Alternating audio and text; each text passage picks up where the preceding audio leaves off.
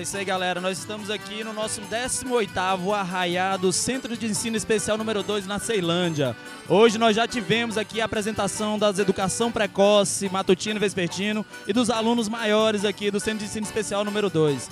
Né, a gente está aqui trabalhando com a parceria com a comunidade escolar voltada para a educação especial, tá certo? E estamos aqui né, trabalhando em prol dessa educação que a gente quer trabalhar com qualidade, oferecendo do nosso melhor para os nossos alunos aqui. Então, nosso trabalho é direcionado para isso. Todo, todo o recurso que for é, angariado aqui desse evento vai ser revertido unicamente, exclusivamente para os nossos alunos, em aquisição de equipamentos, brinquedos diversos que podem ser adquiridos para eles, para melhorar nosso, nosso trabalho aqui. Tá? Então hoje nós já tivemos atração musical com Ian Santori, tocou o melhor do sertanejo aqui, a festa muito bonita, mas fruto do trabalho, da união de cada um dos nossos servidores aqui, professores, auxiliares, educadores sociais né, e comunidade escolar em geral que está sempre participando e colaborando com a gente, tá certo? Muito obrigado pela presença de vocês, Simpro. Valeu!